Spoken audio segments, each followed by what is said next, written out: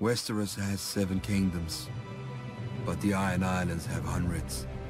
Every ship on the waves is a kingdom, and every captain on his deck is a king. Mainlanders will bow to a man whose only claim is dropping out of the right cunt. But the Ironborn spend their lives at sea. We know that if a captain is weak, his men drown. If he's foolish, his men drown. But if he's strong, his men carve their names into the world with blood, steel, and song. Any man with a ship may claim the Salt Throne, but the rest of the Ironborn have to give it to him in the Kingsmoot. Our priest claimed the first king of the Iron Islands was the Grey King, who ruled over the sea itself in the dawn of days. He took a mermaid to wife and stole fire from the storm god, and carved the first ship from a demon tree that fed on human flesh. When he died, his hundred sons slaughtered each other until only 16 remained. Since none could overpower the rest in battle, they came together and chose the strongest to be their king. And so began the tradition of the Kingsmoot.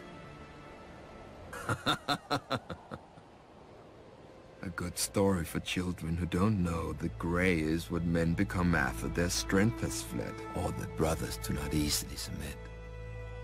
Over the centuries, the Kingsmoot has raised the greatest of the Ironborn. Qhored Hoare, whose word was law whenever men could smell the salt air or hear the crash of waves. He sacked Oldtown and defeated the River King, taking three young sons as hostages. When their father's tribute was late, Qhored cut out their hearts with his own hand. When the father marched for vengeance, Qhored smashed his army and gave this River King to the drowned god. Harwyn Hoare, born to a king who had a fleet he didn't sail and swords he didn't blood. As an unruly and worthless youngest son, Harwyn was sent away to the east to vanish, and so he did.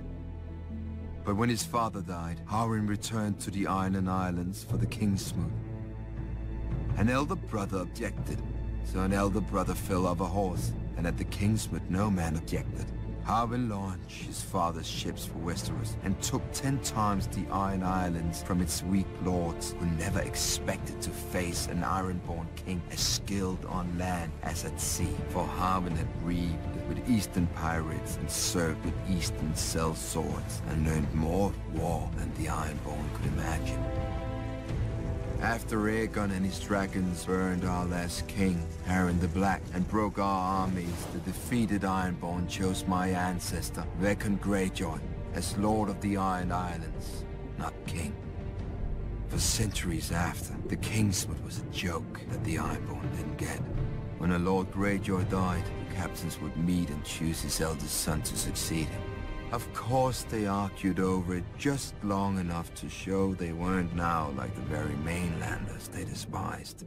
Once more we have a true king, my own brother Balon, who had the balls to seize the Driftwood crown, but not the brains to hold it. He is the first king the Iron Islands have had in centuries, and the fool would be the last. The Kingsmoot once chose him over me. They will not have that choice next time.